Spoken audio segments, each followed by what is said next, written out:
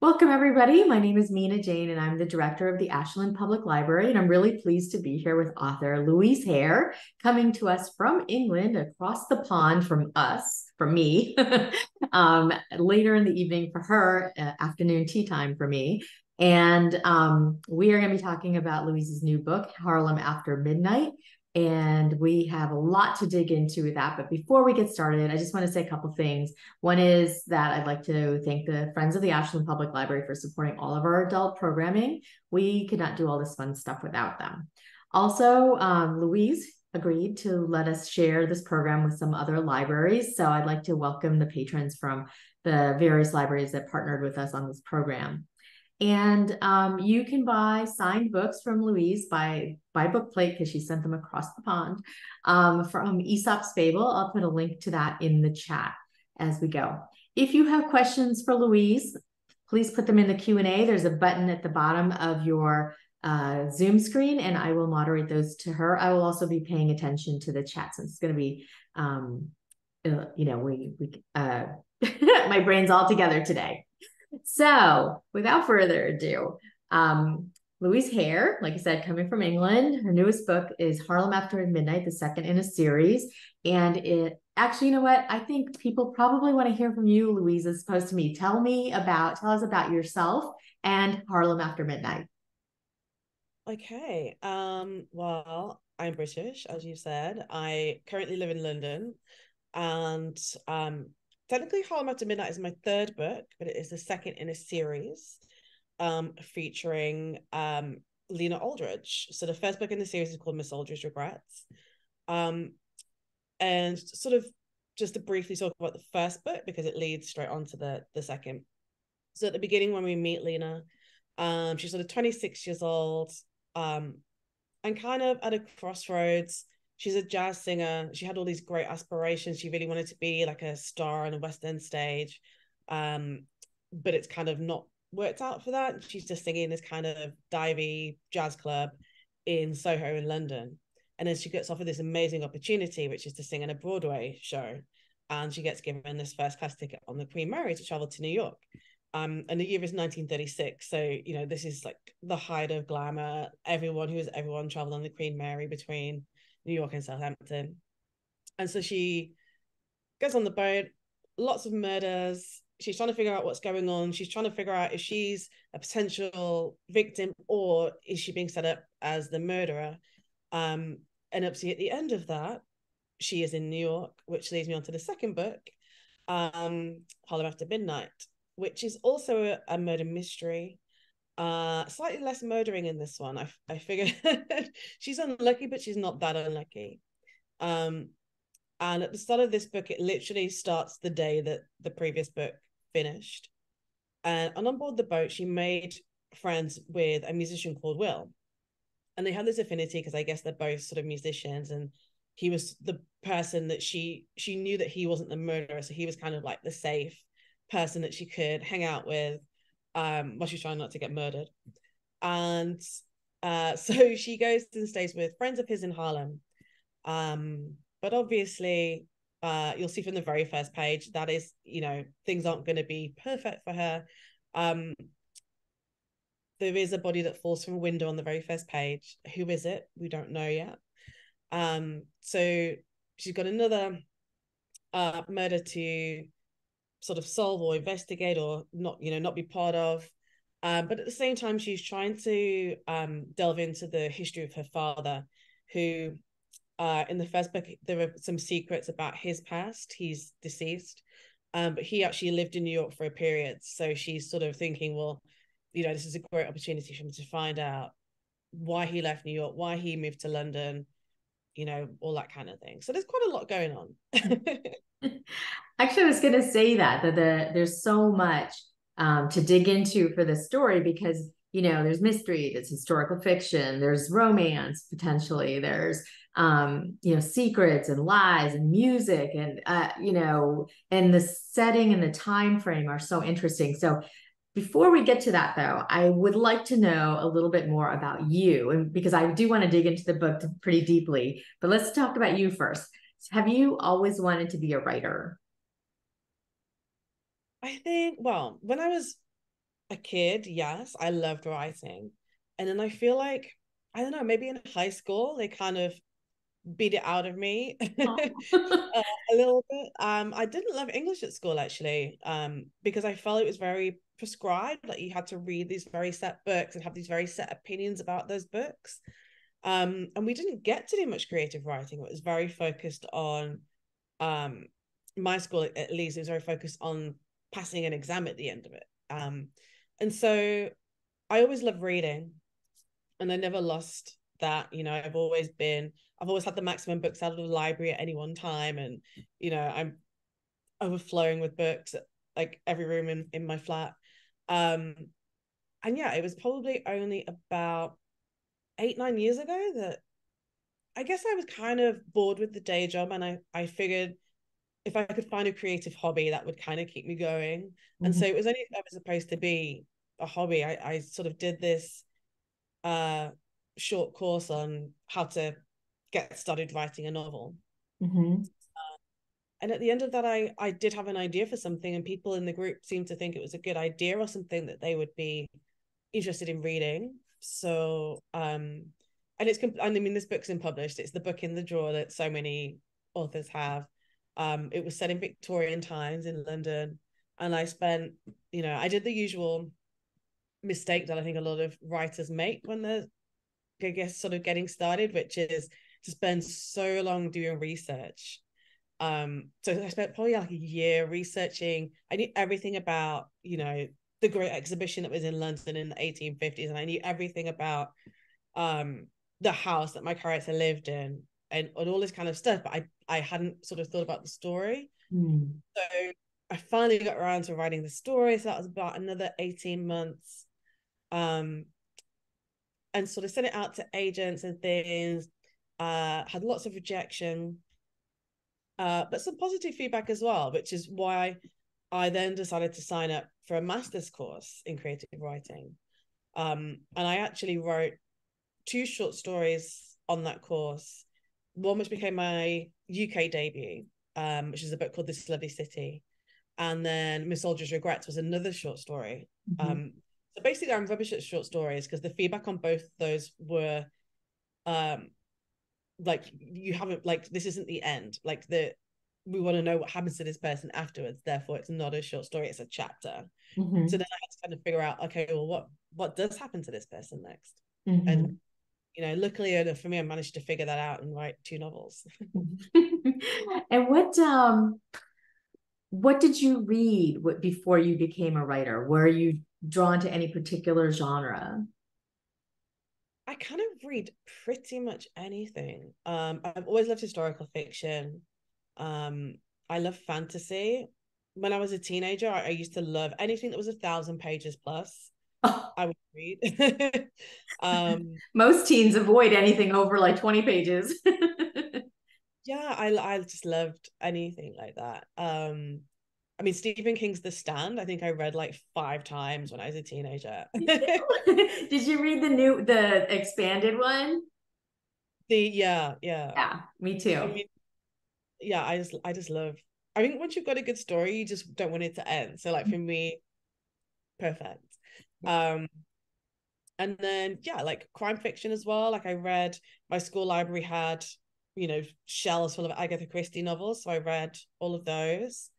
Um, yeah, pretty much. I don't think there's a genre that I wouldn't read. Oh, apart from that, I don't really get spy novels.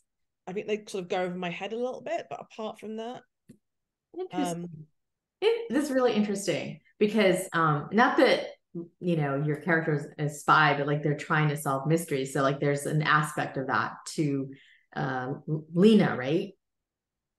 Yeah i think it's all the government stuff. When they get into oh. government thing they get a bit like what? Huh? Um so so yeah. I love i love uh, there's a series by mick herron which is sort of um sort of people from you know british spies who are just a, little bit terrible at their jobs and they all get moved into this one department for to get given all the, the rubbish jobs that no one wants. So i mm. kind of like that series because they also don't really know what's going on so i can follow that a bit more easily. I love it. So susan asks um, and i have the same question given that your wide variety of reading and you know what drew you to this sort of historical fiction mystery mashup? Yeah i think um well my debut novel there is a mystery in it but it wasn't sort of i guess it's not crime as such it's just more like historical set in 1950s london um and i i guess historical in particular because i felt that I really struggled. It's a genre that I love, and I really struggled to find books written by Black British authors that are historical. Mm. You had to fit like I felt like you had to fit a very certain niche um to get published, and I just thought, you know, actually, I is that um quote from Toni Morrison, which I will I will butcher, but it's basically, you know, you should if there's a book that you want to read that doesn't exist, you should write it. Mm-hmm. Um, so I thought, well, I don't really know what I'm doing, so I might as well start off doing doing that. um, and I and I really enjoyed it, and I I guess I want to write those books that don't currently exist, mm-hmm. rather than trying to copy stuff that's already out there. Mm-hmm. Why do you why do you think that is that there weren't books that sort of reflected your own background or history or interests? Um, in Britain, I mean, we in in America, like we sort of almost, you know, we're just starting to get there. But why in Britain, where they didn't have the same, or it seems like they didn't have the same background? I'll just say. Yeah. Um. So in the UK, I guess there was this, there was a perception that Black people didn't read, so therefore they wouldn't buy the books, and there was also the perception that if there were books with Black characters, only Black people would buy them mm-hmm. which is which is crazy. But that was kind of one of they're very risk averse in publishing. I, am sure on both sides of the Atlantic. Mm-hmm. So the books by black authors that you could buy, you know, quite wide widely, um, I guess were well, Zadie Smith, yeah, was you know, one of the few black British authors we had. The uh, and then everyone else was pretty much American. So they'd mm-hmm. wait for something to be a bestseller in the US and then they would buy it for the mm. UK because they'd be like, oh, it did really well there, so let's just do that. Whereas it was really hard for Black British authors to get published in the UK, mm-hmm. um, and that's that's changed a lot actually. Probably in but as recently as probably the last five to six years, that's changed. I think um, there's been a lot of big shakeups in publishing, um, especially since 2020. I think events in 2020 weirdly hit really hard in the UK as well as the US um, in terms of like George Floyd and things. And there was a real um, push for publishing here to sort of reflect society a little bit more wisely. And mm-hmm. um, I think we'll see. Hopefully that continues. I think it's it's making good strides so far. So yeah. Yeah, because we were talking about this a little bit before we started this program. Is that um, you know you took um, you know your your character from I'm, I'm going to say Lena, right? I can't keep Lena or Lena. I keep getting it wrong. Lena. I say Lena. Lena. Okay. I just want to make sure because I know it's one of the other. Um, so you took Lena from you the UK to the US in Harlem um, at a time where in Britain, you know, like World War uh, One was World War Two, like they were ha- you know heading in that direction. Where in the US, we still had the Jim Crow and things like that. So what made you want to change that setting to a place to a place that would be problematic for her, more potentially more problematic for her? Um, I guess because so when I when I wrote the first book, Miss Aldridge, Regrets, originally it wasn't supposed to be a series; it was just going to be a standalone book. And then when I got my US publishing deal, they were like, "Oh, but there's so much like stuff that you could still explore with this character. We could do it at least one more book, if not, you know, a whole series. Um, and I guess sort of writing that book, um, because Lena's passing as mixed race, but passing as white, and there was like, I guess there was just lots of things that sort of came out of that that were interesting. There was still a lot more to explore with that. So I felt like because she's grown up in this, I guess this environment where she's often been the only person of color but then sometimes when she is um singing she's with a, a band of black musicians but then she also feels that she doesn't necessarily fit in with them because like they have their own stuff going on. They kind of see her, you know, walking around as if she's white, and so they're not they're not sure about her either. And so that was one of the things that came out of that. And so I thought, yeah, if we put her in this black community, um, how is she then going to reflect on on that experience? How are people going to treat her? Um, and and then what happens if she meets someone like the character Belle, um, who's quite divisive in this story? Um, what if she meets someone who is who can also pass, and what will they? How will they, they interact, and how will she sort of evaluate that experience when she sees how someone else behaves who can who you know has that similar experience mm-hmm. right because there were parts of this book that uh, harlem after midnight that that she did pass or try, you know like she and belle uh, went places as um as white women. Um and you know like how did that influence the story like having to do that in, because they were in the us versus someplace else? Yeah it was it was very interesting and it was definitely something that i wanted to show. Um and i think especially because she's sort of starting this relationship with will the musician and he definitely cannot bass. um and also because belle's his sort of stepsister and there's some friction in that relationship um it was just a it was just a great tool for sort of playing around with all those different dynamics those relationship dynamics between those three and and then the other people that, that Lena's staying with. Mm-hmm. So yeah, I had a lot of fun sort of thinking of scenarios where um where Lena might feel guilty that she's, you know, she's going somewhere that Will couldn't go to.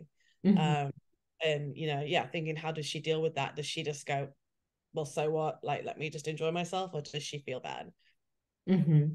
And you had said again before we started that you've been to New York at least five or six times. So did that influence your wanting to write about Harlem? Um, I guess I've always been interested in the Harlem Renaissance mm-hmm. anyway.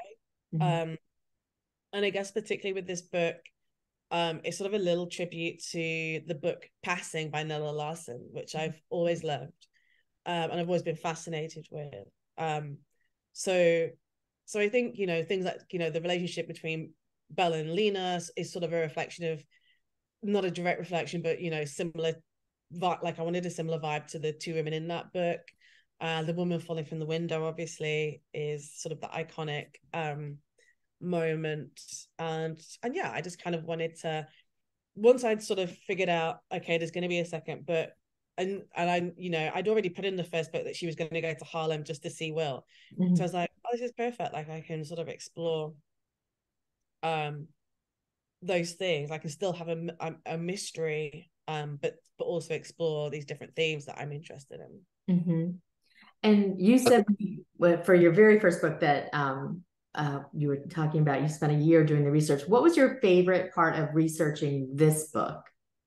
What was like the best tidbit you you discovered? Oh, um, there were there were two things. Um, so one of the fascinating things I found in the library was um, a biography of Nella Larsen. Mm-hmm. Um, and she lived an incredible life. Like she was, you know, doing her own thing completely, you know, um, definitely a, a flawed woman, but someone who didn't take no for an answer. You know, she traveled around Europe on her own and, you know, probably had affairs and, you know, all this kind of stuff. Um, so reading about her life was because sometimes I think when you're writing historical fiction, especially when you're writing women, you're always scared like you know what were the um you know what were the expectations at the time because you know we think that we're in back in the past we're very you know downtrodden and had to you know be thinking about marriage and all this kind of thing. And she definitely wasn't. So i was like you know i feel safe with lena uh, who was not a you know not fulfilling those traditional roles. But i was like yeah i feel like this is okay. Um and then the other thing which just was amazing because so with my first book i chose a very specific crossing on the queen mary. So the dates tie up with a an actual passage from southampton to new york so obviously with the second book i was very stuck with these set dates mm-hmm. um and the very night that i wanted lena to go to the savoy ballroom so that i could sort of explore the music and the dancing and everything um, when I was researching, it turned out that the ballroom had been closed, but it reopened that night. It had been refurbished, and Ella Fitzgerald was playing that night. I was like, this is perfect. I love that serendipity.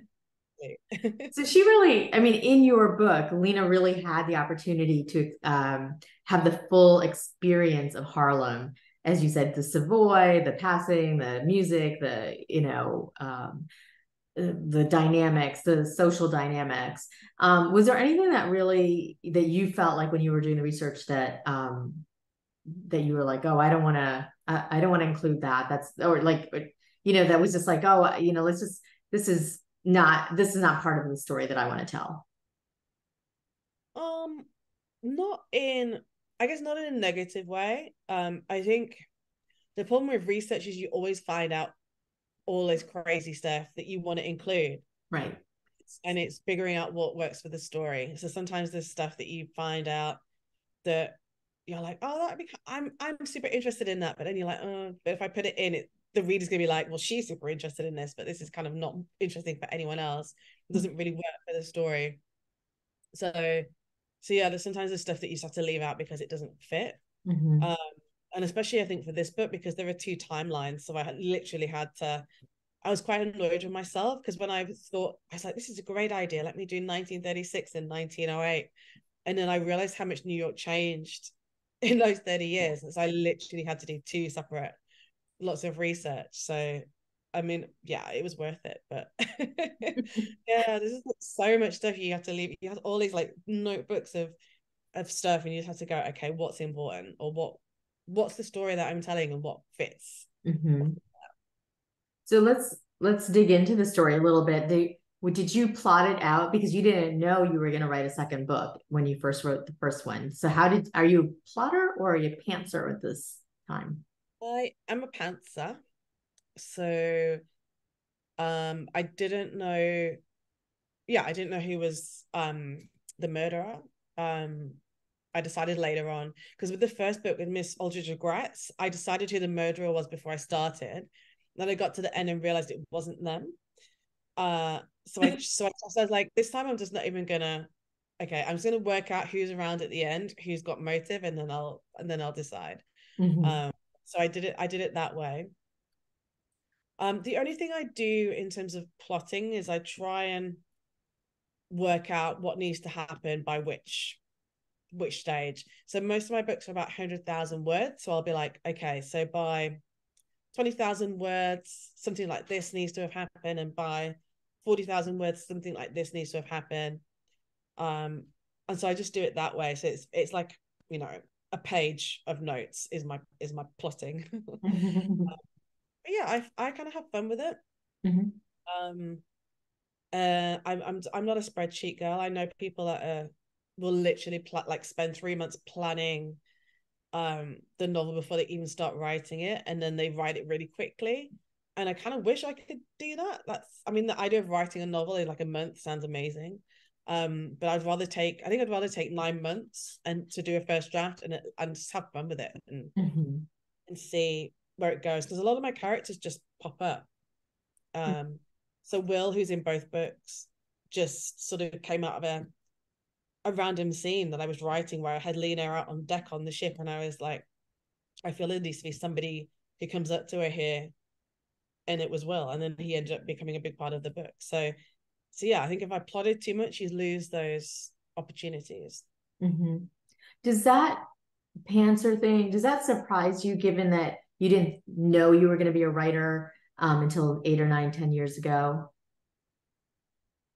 I I don't know. I feel like um I feel like a lot of people are pantsers, so I'm I'm kind of um I'm kind of cool with that. And I, I always used to love, like when I was a kid and I used to write, I used to love those exercises where the teacher just gives you like a sentence, mm-hmm. or they give you sort of five items and you have to sort of come up with a story around that, and it's just completely free. I think I like that idea of just being able to do anything mm-hmm. and be completely sort of prescribed to you. So, so yeah, maybe I've always been a pantser. that seems to work for you, you know. I and you're right. Like almost all the authors I talk to say that they're pantsers. They they don't like to outline. Um, it felt it feels very restrictive to them. yeah. But um, so you explained Will a little bit. Does he? Do your characters sort of like come to you fully formed um, in terms of like their who they're who they are, their backstory, all that, or does that happen over time as you write them more? Hmm. I get. I mean, with Will, his backstory, I hadn't really thought about in the first book. It came. I mean, it comes in very heavily. Yeah. in her midnight. Um, I knew. I knew what kind of. I know what kind of person they are. So I know if they're, you know, a kind person or if they're impatient. You know, I know those sort of basic things about them um immediately. Mm-hmm. And then the more that I write, more scenes I write with them in, the better I get to know them. Um, but yeah, like backstory again, because backstory is tricky. I always try and leave that till later because otherwise, again, you want to put it in and and it kind of doesn't always belong, um, belong in the story. Um, but sometimes it takes like Lena's backstory completely starts to take over the first book, all the stuff with her her past and all that kind of thing. Mm-hmm. Um, but yeah, I think I really like I always see the first draft as getting to know the characters mm-hmm. um, and see who belongs. Because sometimes at the end of the first draft, I'll cut some out and then I know I'll merge them or, you know, I'll play around with it. The first draft is really just, you know, here are all the ideas, what works, what doesn't work. Mm-hmm. And sort of the second draft is more when the book feels like it's moving towards something that one day will be published. I think all of my first drafts, you you know, you wouldn't want you know anyone public to to see it. They're, very, messy. I think that's probably true. Oh um probably true of most authors as well. Um so what comes to you first the setting the plot or the characters or something else um i think i usually start with an image in my head of a person in a in a setting. So maybe the character in the setting pretty much at the same time. Mm-hmm. and then the story i figure out sometimes much later. Um, like i just sort of start with a scene and then sort of think okay well what do i want this book to be about like does it do i want it to be like a really full on murder mystery so, for example, Miss Aldridge Regret started as a short story, which was just a woman singing in a bar and someone's murdered in front of her. Mm-hmm. Um, and so that is carried into the the novel. Um, but at the end of the short story, she leaves and she's got a ticket to get on a ship. And so then I was like, okay, she's getting on a ship. So what does that because then you need to tie that in? I was like, well, so there needs to be more murders. So then so then I was sort of almost sort of backwards engineering, like, okay, so this is all linked and just sort of yeah trying to figure out what's going on. Why is she getting on the ship? Because in the short story it was just kind of like she wanted to get the hell out of there. But like, like that's not really good enough for a novel. You need like a proper a proper reason. So yeah I, I think i like i'm quite a visual writer so i like to sort of picture something and then go okay what what happened just before this or what's going to happen just after this Mm-hmm.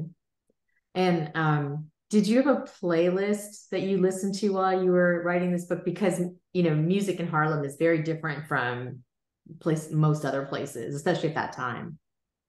Yeah, I mean, I listen to lots of jazz. So I'm, i mean, I mostly listen to Ella Fitzgerald, mm-hmm. uh, and uh, a little bit of Gregory Porter as well, who obviously wasn't alive at the time, but you mm-hmm. know, singing those sort of classic jazz songs and um I haven't made a playlist on Spotify or anything, but there is um so in each book there are sections and each section is the name of a, a jazz standard that that would have been uh popular in by 1936 either a little bit earlier or lots of gershwin and lots of stuff that ella fitzgerald sang mm-hmm. uh, so so yeah i think it'd be quite nice if people want to listen to some jazz as they read actually i um was reading um, about the I didn't get to listen to the audiobook, but I heard the audiobook was really good. And um, somebody mentioned online that it would be really amazing to have this as a full graphic audio because of the music.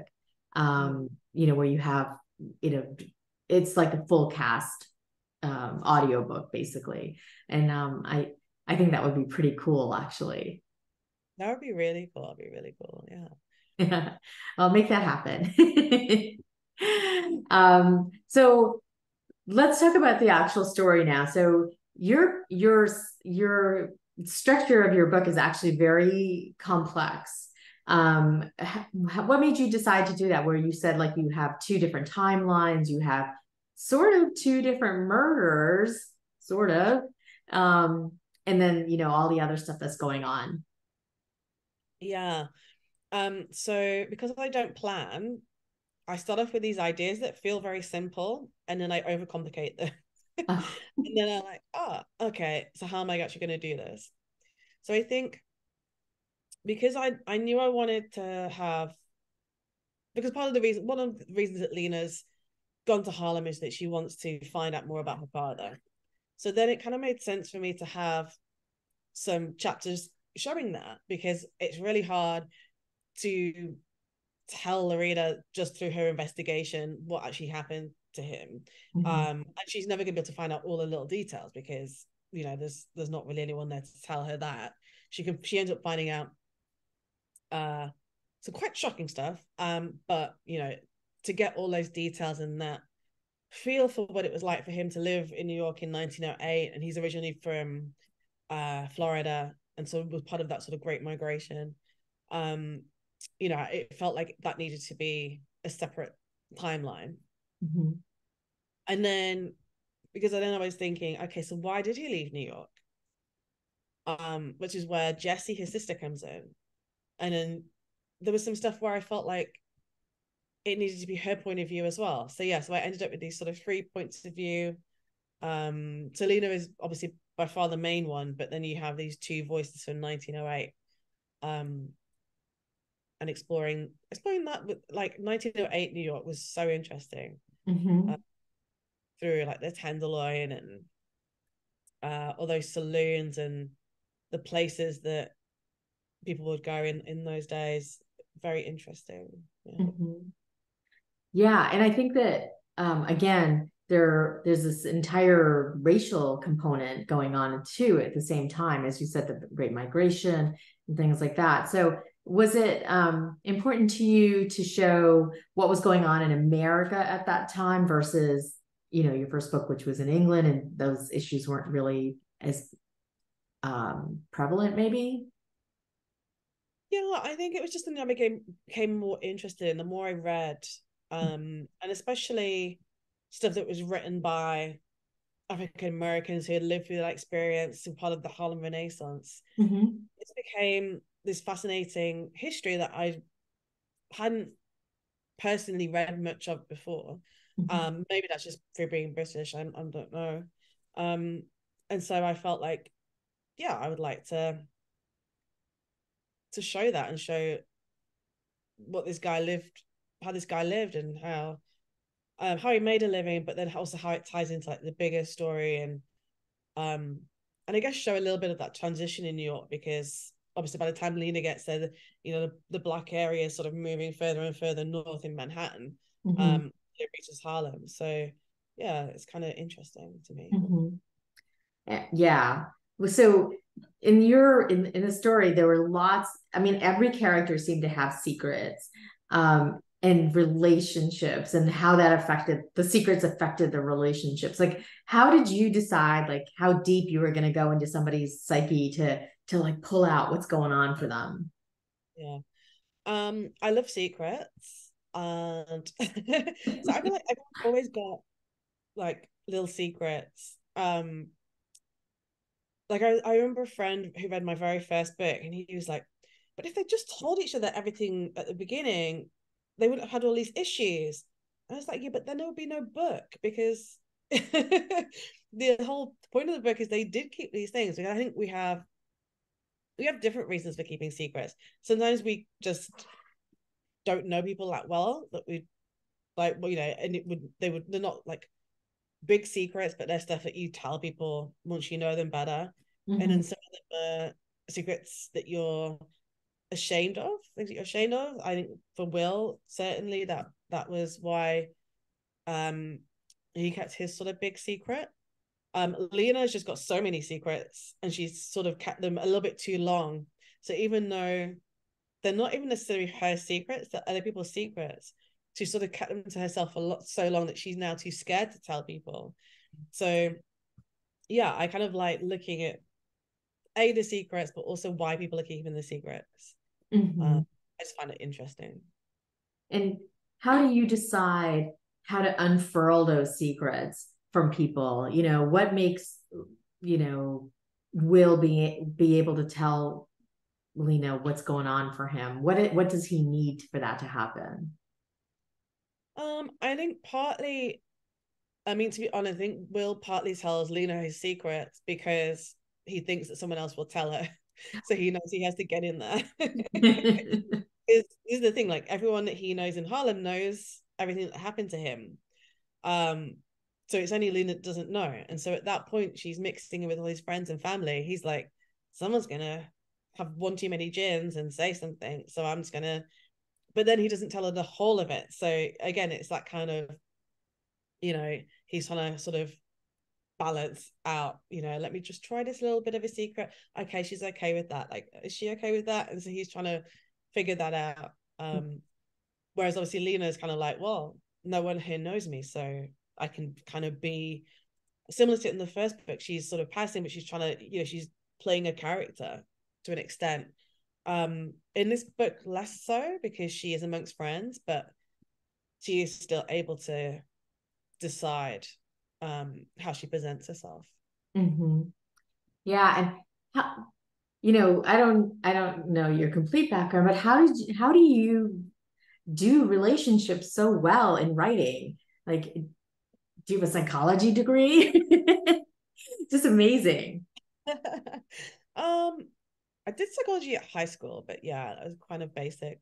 Um, I'm just I guess I'm always fascinated by people and why they do the things they do. Because people people do things you wouldn't expect all of the time. And and yeah i'm always i'm always thinking like why would you do that? Like why you know sometimes people do stuff that's so out of character you think what drove you to that? And so i'm always thinking of the reasons. And so you know my characters aren't based on anyone that i know or anyone in particular but yeah, I'm always kind of thinking, okay, if I throw someone into this situation, you know, what are the different options of how they're going to react and and why and which one do I choose? Which one do I think works for this character? Mm-hmm. Uh, so so for example for will because i knew he's he's always been a good guy in my in my mind from the first book onwards but i knew that i needed him to have some secrets of his own um, and in a way that draws him and Lena to like closer together.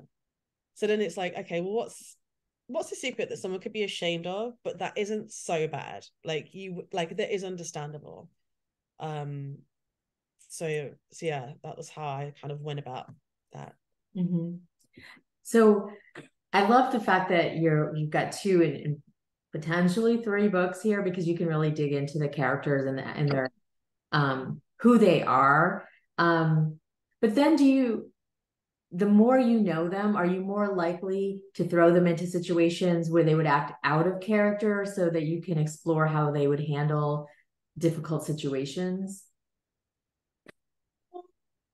Like, uh, just for an example, having somebody fall out of a window, you know, like, uh, you know, and having to deal with whatever comes up in that situation. Cause like, she's not a detective. She's not a spy. She's not a, you know, she's just a, just some woman walking down the street. So, yeah, do you know her well enough to know that if she'll react in, in character or within, or just like this will throw her out? Yeah, I feel like, well, I feel like by this second book, like I know, I know Lena and I know Will.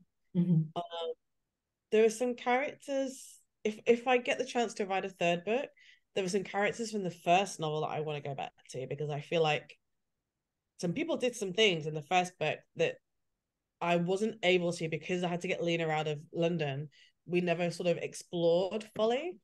Um, so yeah, I'd love to go back and and see what's ha- what's happening with them and see, you know, how Lena's going to deal with that situation mm-hmm. because mm-hmm. those are people that she grew up with.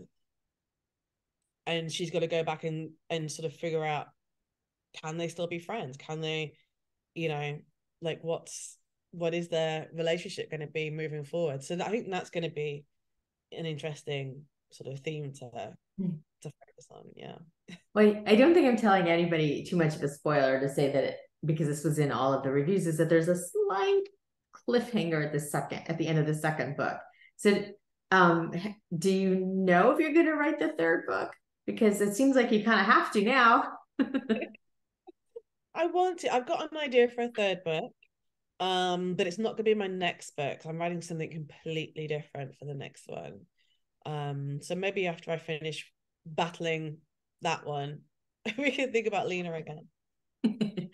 Did you need like a palate cleanser, or you just uh, don't have it sold yet?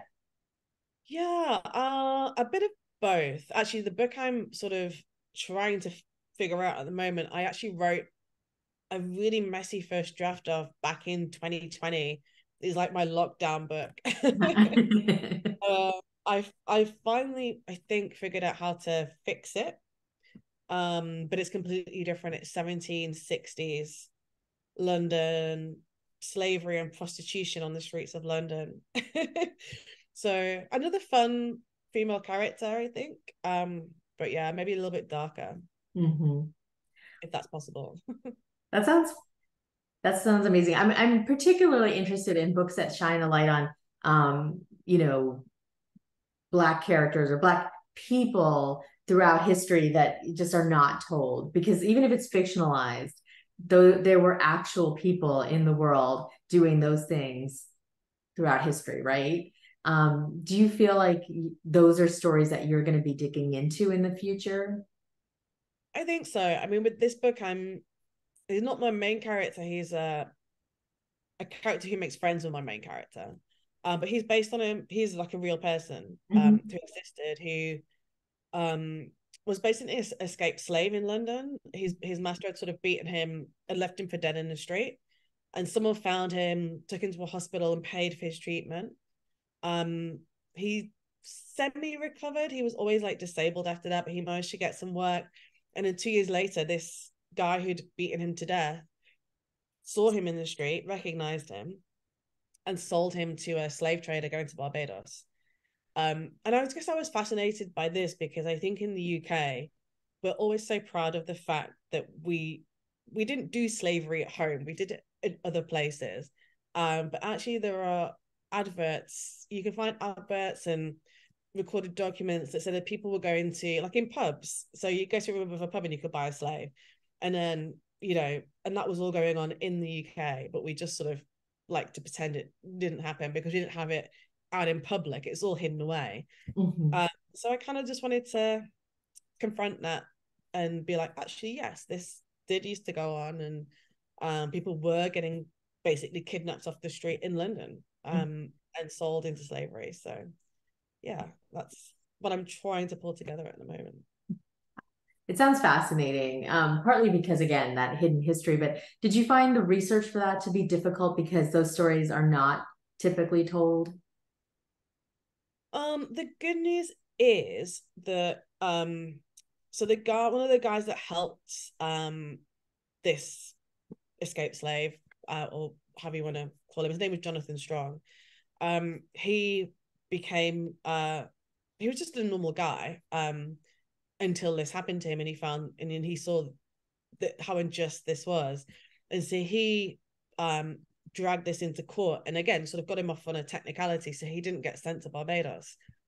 And so then he became known in the black community. So when other people had similar problems they would go to him and he would um sort of try and help them in a legal way because again there was no specific law against slavery. So it was he was almost sort of getting people off on technicalities through various things, you know, as if they were property. So you know, you can't just take property off the street, essentially, kind of thing.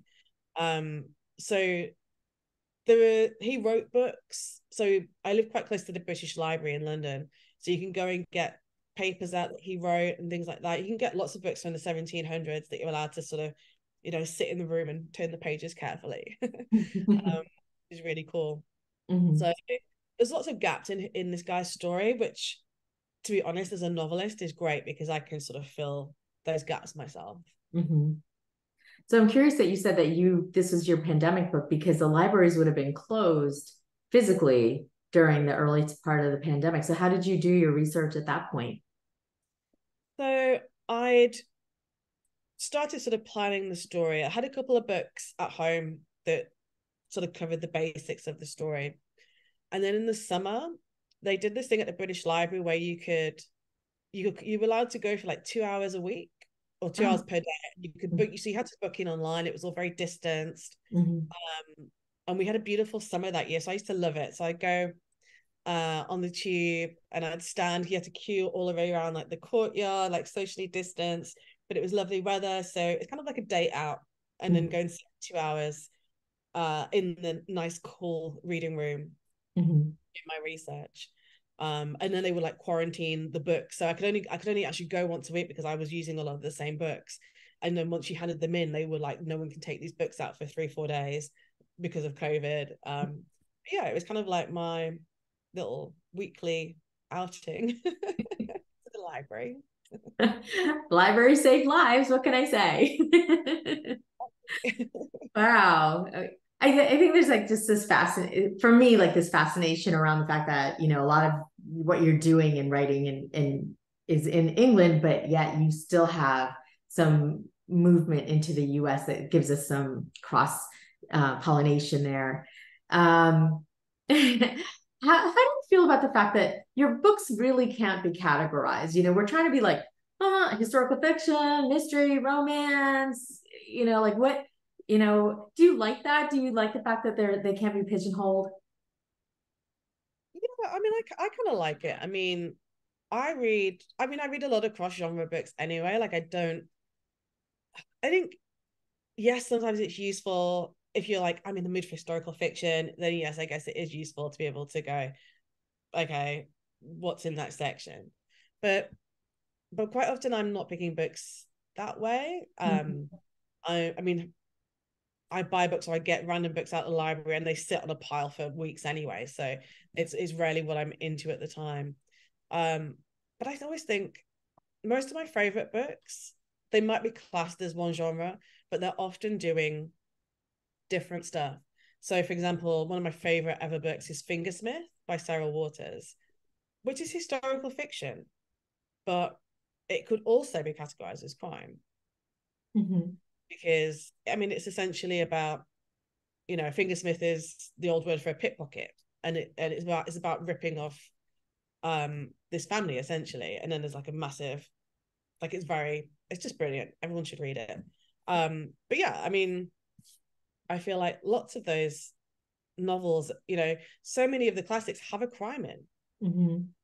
We just don't call them crime novels. So yeah, I think um yeah, I think I'm always going to be like sort of playing with genre and not being pigeonholed. But also it's fun because I get invited to the crime writing festivals and I get invited to the historical fiction festivals. Mm-hmm. So hang out with lots of different people. I know you said that you were just at what a crime one up in Scotland last week. That was last weekend. Um, yeah, the festival called Bloody Scotland. um, yeah, it's like three days of panels and um lots of crime writers. Although I was on a panel with two historical crime writers, so mm-hmm. um, lots of cross genreing. Um, and in a couple of weeks, I'm doing a historical fiction evening with lots of historical fiction authors, and yeah, should be good. I think it's interesting that I think that the genre thing is more of a publishing thing. Like they need to they need to have a genre, but actually you're just writing the story that that you're writing. Exactly, exactly. I think, yeah, they. I mean, they put it into whichever category they think will help sales. I assume. Um, but yeah, I think there's lots of us, especially in terms of historical mystery. I feel like there are lo- lots of us out there writing that. I mean, like it's almost a genre on its own, anyway. Mm-hmm. Mm-hmm yeah, well, I'm sort of just discovering it and I'm like, wow, this is fascinating. Because I feel like the same way about romance. Like almost every book has some element of romance in it, but it's not a romance book.